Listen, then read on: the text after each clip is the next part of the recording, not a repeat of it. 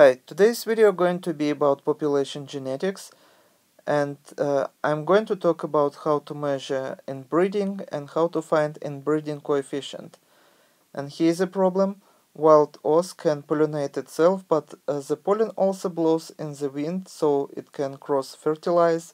The task is to estimate the relative proportions of these two types of mating and here's the data for the phosphoglucomutase or PGM gene, uh, we have uh, 104 individuals that belong to this genotype, capital A, capital A, 9 individuals that belong to this genotype, capital A, capital B, and 42 uh, uh, individuals that belong to the capital B, capital B genotype. And total number of the individuals would be 155. So we have to measure inbreeding. If you know how to solve this problem, I recommend you to stop video here, try to solve this problem on your own, and when you would be ready with your results, you can run video again, and you can compare your answer with my answer and explanation. So first of all, uh, I'm going to show you um, formula that is Hardy-Weinberg formula. Uh, which stands for the frequencies of the three possible genotypes. So we have three genotypes here. So here is a formula p squared plus 2pq plus q squared equal to 1. And for the p squared, uh, we have genotype that is capital A, capital A. For 2pq, we have genotype that is capital A, capital B and for the q squared we have genotype that is capital B capital B. Uh, you might be interested why we have uh, all the letters that is uh, capitalized. Uh, unlike in simple Mendelian genetics where we have one gene that uh, one allele that is dominant another that is uh, small letter would be recessive allele.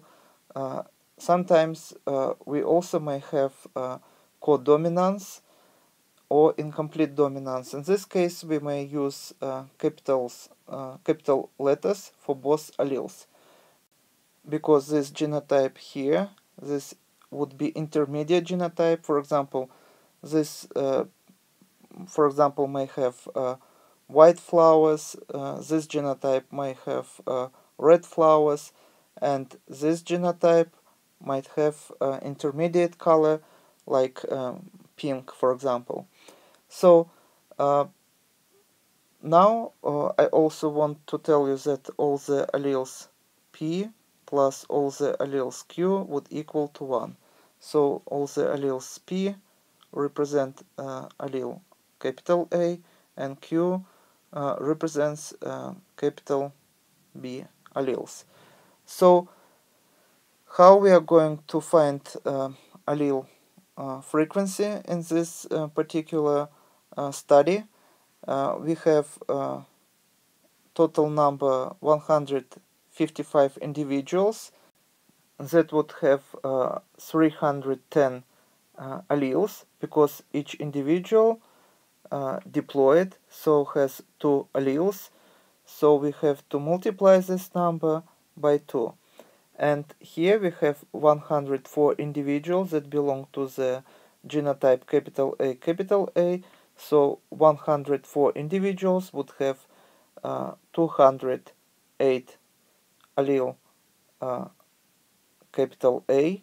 And here we have 9 individuals that uh, uh heterozygous so has uh, one uh, allele that is capital A and uh, one allele that is capital B.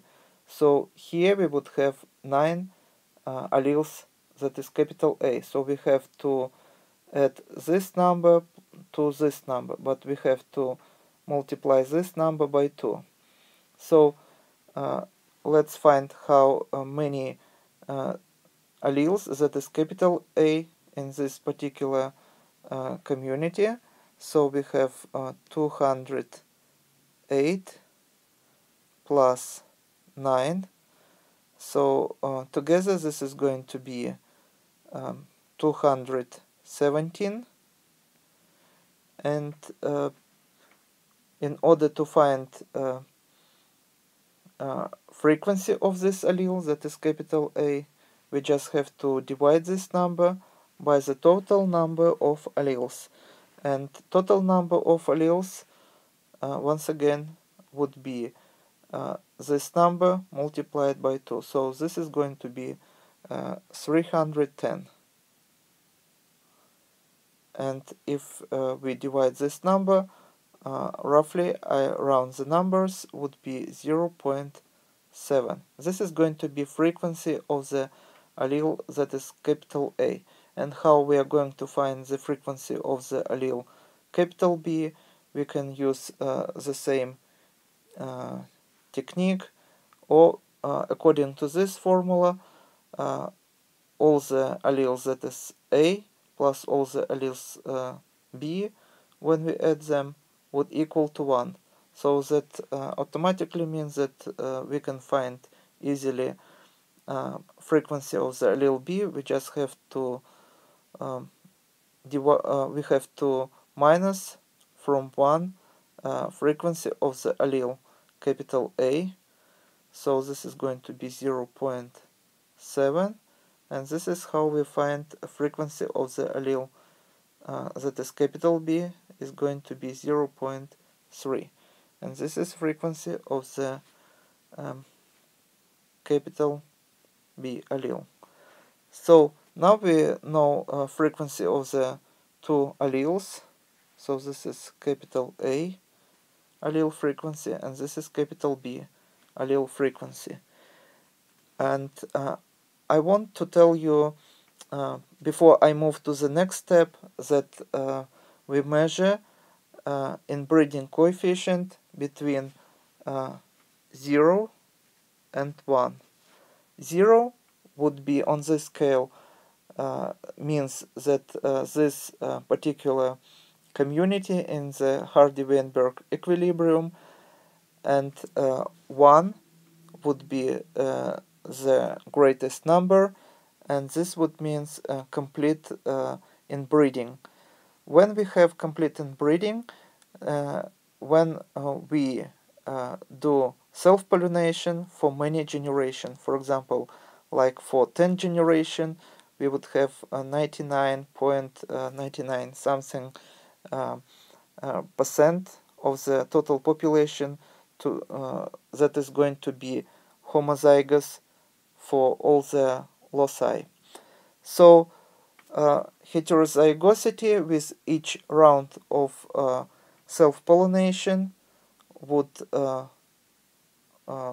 be divided by 2 so uh, if we self-pollinate uh, for example this community and in the next generation number of the heterozygotes would be at least by 2 and if we repeat this experiment one more time we have to divide the number of the heterozygotes by 2 and so on. So uh, the greater coefficient to 1, the greater uh, uh, would be inbreeding. So how we are going to find it? Uh, let's uh, find uh, what is the prediction according to this formula of the heterozygotes in this community. And in other words, we call it uh, expected ratio. So let's uh, do small uh, calculations uh, for this part of this formula.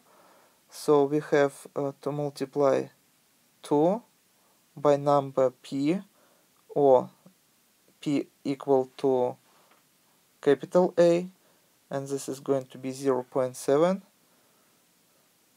and by number Q or capital B that is uh, 0.3 so and we are going to find uh, expected frequency of the heterozygous.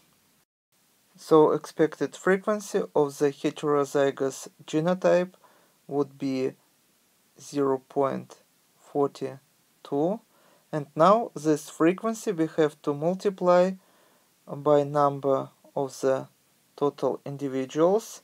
So by 155 and now we are going to get how many individuals uh, we should expect to belong to this uh, heterozygous genotype. And the answer here would be 65.1 and as you see this is uh, very different from what we have here.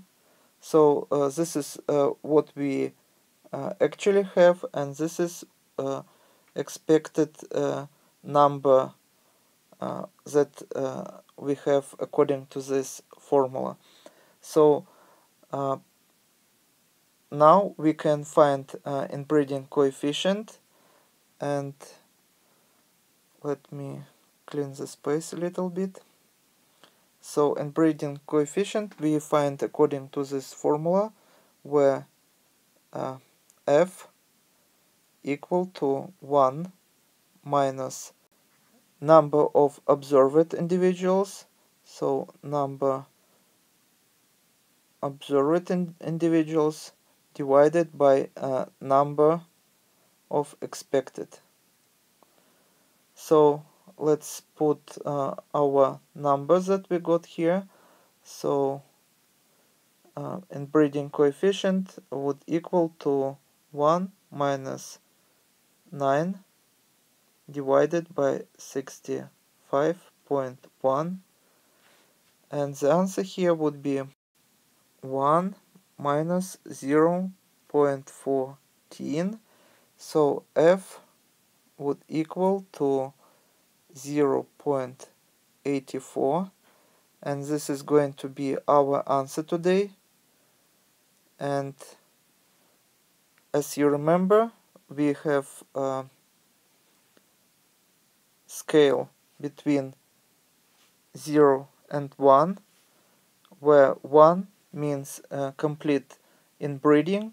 So this number uh, very close to 1 and that means that uh, inbreeding coefficient is very high so most of this population would be result of uh, self-pollination and would be very high in breed. This is all for today. Thank you for your attention. See you next video. Thumbs up if you like this video. Goodbye.